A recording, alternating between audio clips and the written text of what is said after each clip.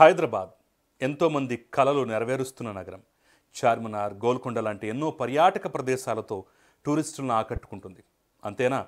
ఎంతో చారిత్రక నేపథ్యంతో దేశంలోనే ప్రత్యేక నగరంగా ప్రసిద్ధి చెందిన హైదరాబాద్ నగరానికి మరో ఆకర్షణ జత కాబోతోంది.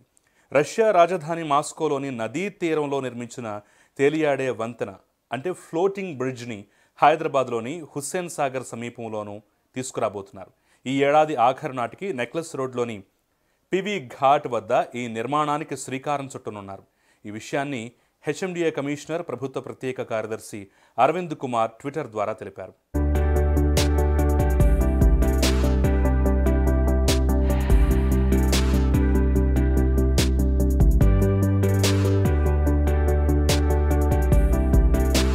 రష్యా రాజధాని మాస్కోలోని జర్వాడే పార్క్లో మెస్వా నదిపై ఆ ఫ్లోటింగ్ బ్రిడ్జ్ ఉంది. అక్కడ ఉన్నటువంటి పర్యాటక ప్రాంతాల్లో ఇది కూడా ఒకటిగా నిలిచింది.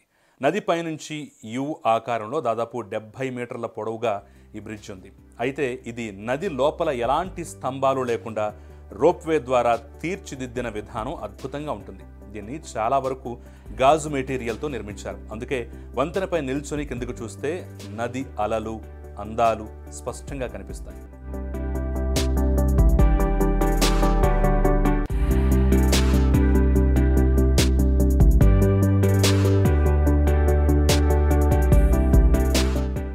ఒకవేళ అనుకున్నట్లుగా హుస్సేన్ సాగర్పై ఇలాంటి వంతెన వస్తే హైదరాబాద్ పర్యాటక ముఖ చిత్రమే మారిపోతుంది. ఇప్పటికే ట్యాంక్ బండ్ నెక్లెస్ రోడ్ను ఏటా లక్షలాది మందికి పైగా వీక్షిస్తుంటారు. త్వరలోనే ఈ తేలియాడే వంతెన వస్తే సాగర్ అందాలు మరింత పెరగటం ఖాయమని చెప్పుకోవచ్చు.